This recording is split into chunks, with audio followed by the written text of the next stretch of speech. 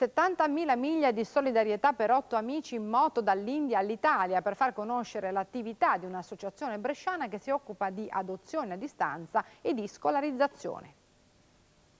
12.300 km a bordo delle mitiche Royal Enfield prodotte in India sul progetto originale inglese del secondo dopoguerra, quattro moto e otto amici, una joint venture della solidarietà bresciano-milanese, dall'India allo Xinjiang cinese in rivolta, dall'Uzbekistan alla Turchia sulle strade più polverose e dissestate del mondo.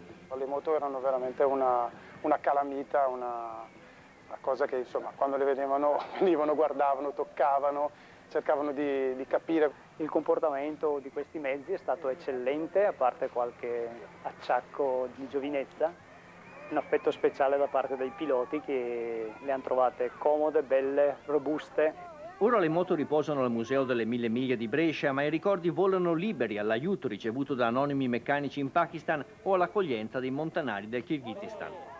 Bastava andare da loro, bussare alla loro porta e ti offrivano da mangiare, ti offrivano da bere, tempo a, per riposarti, per stare con noi e per stare con loro, insomma.